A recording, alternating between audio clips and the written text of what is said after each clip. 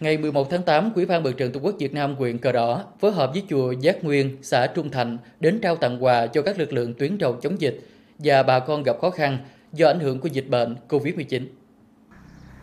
1.000 trứng dịch được gửi đến Ban Chỉ huy quân sự huyện để chuyển đến các lực lượng đang thực hiện nhiệm vụ tại các khu cách ly tập trung của huyện Cờ Đỏ.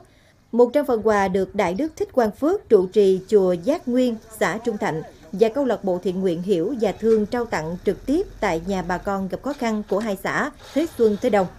Mỗi phần gồm 10 kg gạo, các nhu yếu phẩm và rau củ quả trị giá khoảng 300.000 đồng.